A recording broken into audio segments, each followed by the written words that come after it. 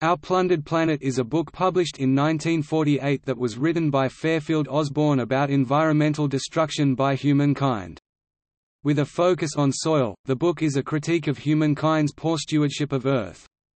It typifies the earliest apocalyptic environmental literature, in which human beings are seen as destroyers of the natural world. Our Plundered Planet, along with William Vogt's Road to Survival, also published in 1948, launched a Malthusian revival in the post-war era, and would inspire Paul R. Ehrlich, author of The Population Bomb among many others.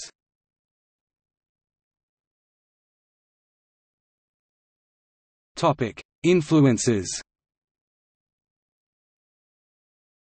In writing this book, Osborn was influenced by Guy I Burch and Elmer Pendell's Overpopulation Tract Population Roads to Peace or War 1945 and Paul Sears' analysis of dust bowls in Deserts on the March 1935. He had also been influenced by various «New Deal» Initiatives in the public planning of land use and restoration, such as the creation of the Tennessee Valley Authority, the Civilian Conservation Corps and various policies to address the «dust bowls» of the time. Osborn, as well as his famous father, Henry Fairfield Osborn, was also heavily influenced by the eugenics movement prior to the war.